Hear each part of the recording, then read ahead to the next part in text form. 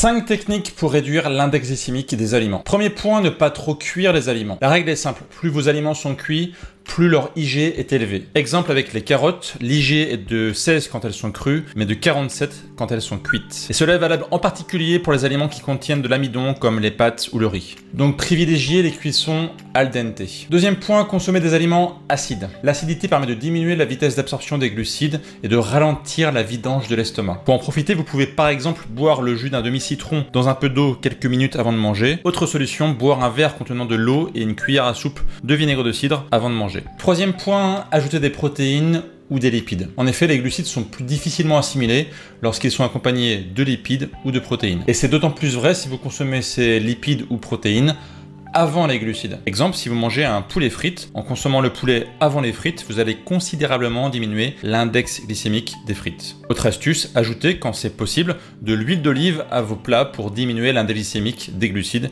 qui le composent. Quatrième point, ajoutez des fibres. Et en fait, ce sont surtout les fibres solubles qui nous intéressent, car lorsqu'elles vont être digérées, elles vont former une sorte de gel dans l'estomac. Et cela va ralentir l'absorption du glucose. C'est la raison qui explique pourquoi les céréales complètes ont un index glycémique qui est plus bas que les céréales classiques. Car les céréales complètes contiennent des fibres, ce qui n'est pas le cas des céréales classiques. Quels sont les aliments qui sont riches en fibres? C'est simple, la plupart des légumes. Une autre très bonne source de fibres, eh ben, c'est la cannelle. La cannelle est l'un des aliments les plus riches en fibres. Donc si vous ajoutez de la cannelle à vos préparations sucrées, cela va aussi réduire l'index glycémique. Cinquième point, faire une marche digestive. Il a été prouvé que le fait de faire un peu d'activité physique après un repas permet de diminuer le taux de sucre dans le sang, comparativement au fait de ne rien faire après le repas. Donc oui, la petite marche digestive après le repas, ça marche. Je publie tous les jours des conseils et des techniques pour reprendre la main sur votre santé. Pour être sûr de ne pas les louper, pensez à vous abonner.